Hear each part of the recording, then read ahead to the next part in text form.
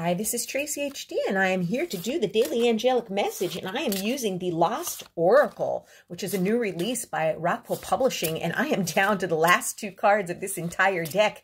It has been so spot on. If you'd like to purchase this deck, you could click the link in the description box below.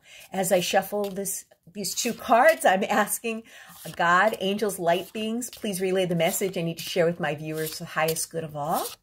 And I'm going to take this card and we have card 26.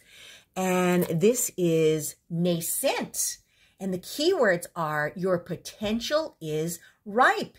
And this woman is looking up at the apples dangling from the tree. She has an empty basket. She's going to climb this ladder and she's going to pick that fruit.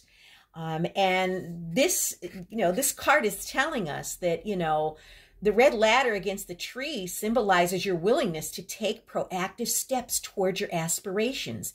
Revisit your goals with fresh eyes and an open heart. Trust again in something or someone you once believed in, for they may now hold the key to the promise you seek.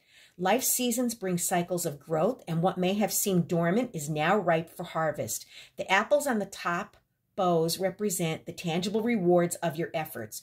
Relationships that have evolved and things that were before their time are now perfectly timed and aligned. These fruits are dangling within reach.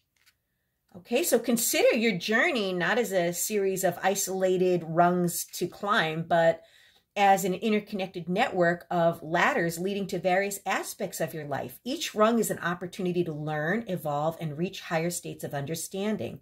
Life is dynamic, and Nascent urges you to approach each step with vitality and a zest for the burgeoning possibilities that lie ahead.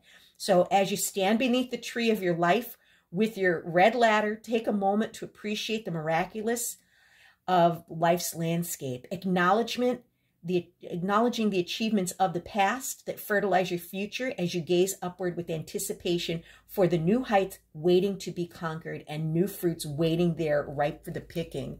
So, yes, what a beautiful, beautiful message today. If you've enjoyed the reading, please hit the like button to help the channel grow. Drop a comment down below if this resonates with you.